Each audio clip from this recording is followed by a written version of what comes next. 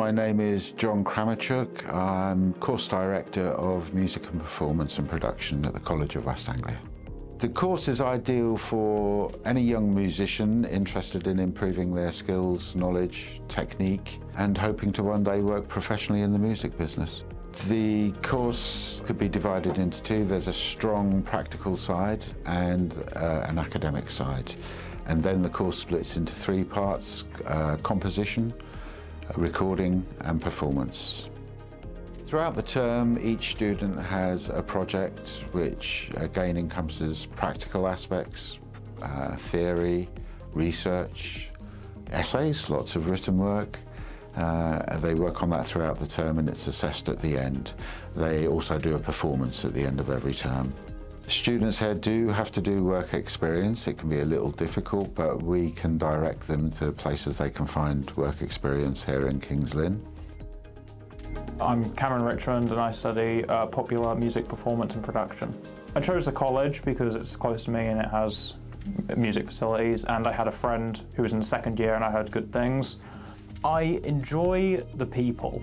I have met some amazing people who can help me forward my music career. The facilities here are amazing. You have great opportunities to learn so much about every aspect of the music business. The teaching is amazing. Uh, course director and our tutors are incredibly helpful. After I'm done here, I want to go and study music production in Brighton and the college is helping me with that. Our careers advisors are helping us apply to, for UCAS and giving us advice on scholarships and stuff like that. And we're also being given advice to help us in our courses. My name's Scarlett Minch and I'm studying music. I knew that I wanted to do a course that was solely just music and I didn't want to do anything else and this was kind of the only college that I can find that could offer that.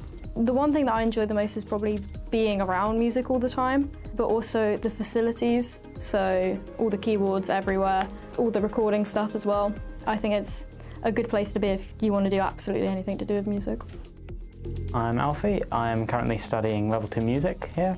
I really enjoy the lessons, um, learning about composing songs and harmony and things like that.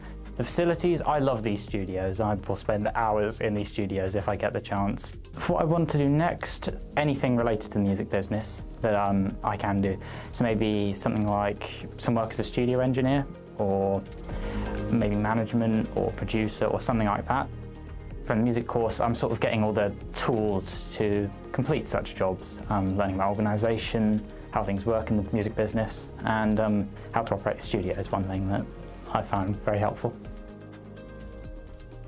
After this course, uh, students can go on to study music, of course, uh, at university level, at university or at places like uh, various institutes for music, like BIMM.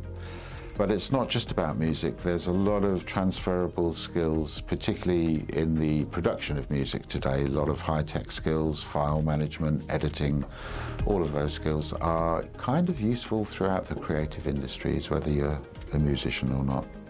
Careers following the course, of course, include being a professional musician or perhaps a studio engineer. There are an awful lot of jobs involved in professional music behind the scenes as well. There's also, of course, things like management, promotions, all of that.